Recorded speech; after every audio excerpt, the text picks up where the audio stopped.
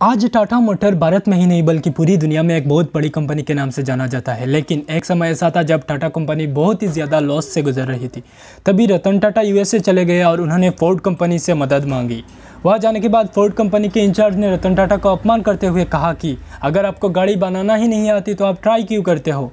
साथ साथ ये भी कहा कि, हम आपकी कंपनी खरीद कर आप पर एक एहसान कर रहे हैं। तभी रतन टाटा ने यह सुनकर कार कंपनी को बेचने से इनकार कर दिया और इंडिया वापस चले आए।